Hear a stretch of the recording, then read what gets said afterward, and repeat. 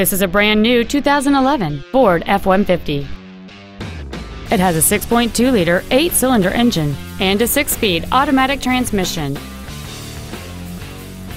Its top features include power adjustable driver pedals, memory settings for the side view mirrors, cruise control, a CD player, leather seats, a double wishbone independent front suspension, trailer wiring, a low tire pressure indicator, heated front seats, and folding rear seats.